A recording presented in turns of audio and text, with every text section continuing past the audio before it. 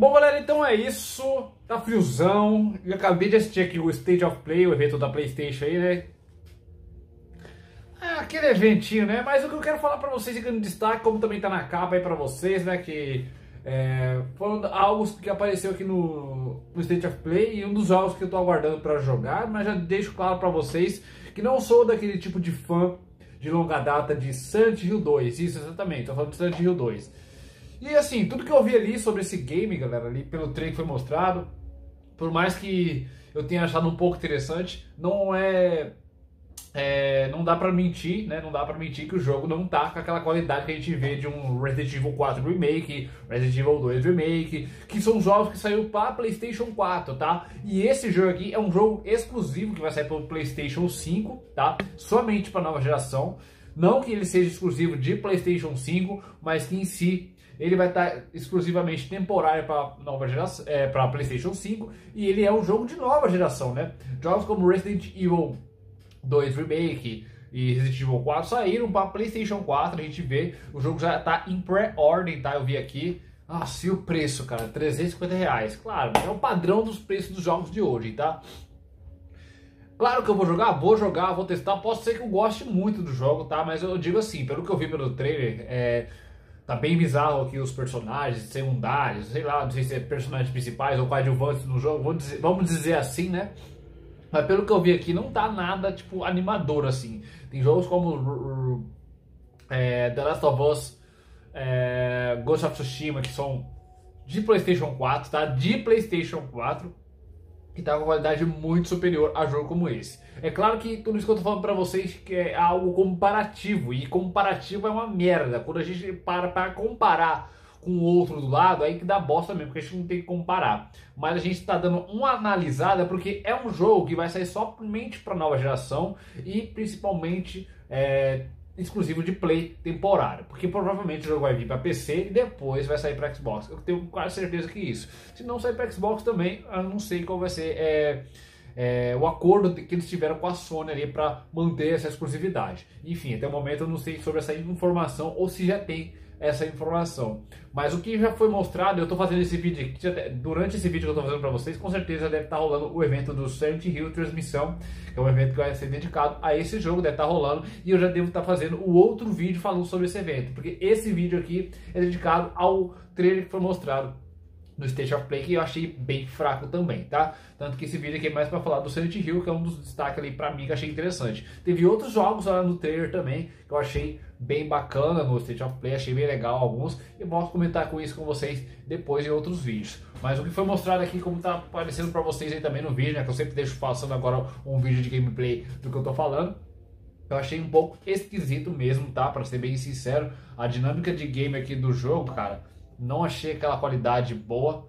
Realmente, para ser bem sincero, a qualidade aqui do Silent Hill aqui deixou um pouquinho a desejar. Principalmente nas expressões faciais dos personagens, que não tá nada atrativo, pelo menos para mim, assim, né? Bom, eu não sou entusiasta de gráfico, de, da maior performance no game todo, mas vamos ver, né? Tem que jogar para saber, como eu sempre venho falando aqui, né? Tem que jogar para saber, mas é, de fato, os protagonistas aqui estão um pouquinho bizarro, a gente olhando para ver aqui. Você que é fã de Silent Hill, você deve estar um pouco frustrado ou animado para jogar assim, né?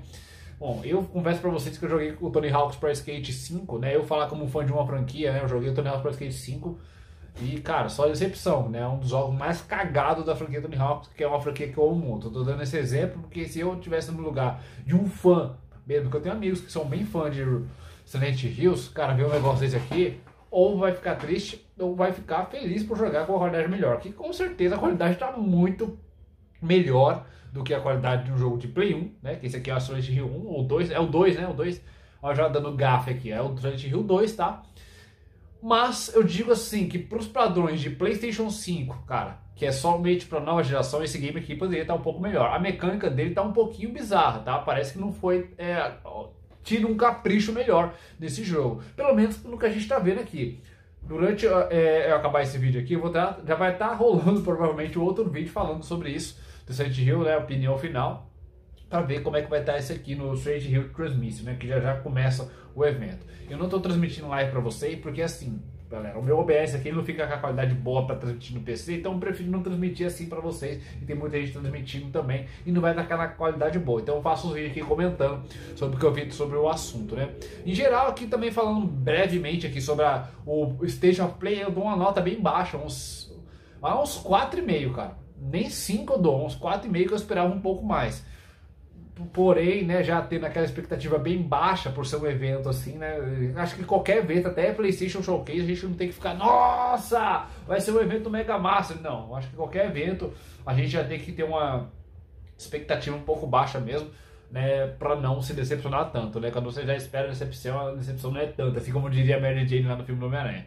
Mas enfim, cara, eu quero jogar o Silent Hills Remake, assim como foi a minha experiência incrível que eu tive em Resident Evil 3 Remake. Eu vou já esse por quê? Porque esse é um jogo polêmico que muita gente esperava muito mais, principalmente os fãs de longa data desse jogo, esperavam muito mais e é um jogo curto que cortou muitas coisas. O Melcão lá no túnel, né? A Torre do Relógio. E tem outras coisas aí desse jogo, né? Que é um jogo curto, né?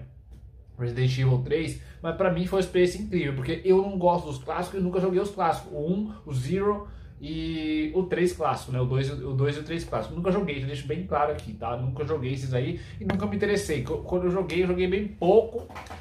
Não foi aprofundado na época, não peguei o hype da época, né? Não peguei aquela primeira impressão da época, não joguei assim. Eu tenho amigos que jogou, tudo bem, respeito, mas aquela câmera tanque pra mim não é pra mim.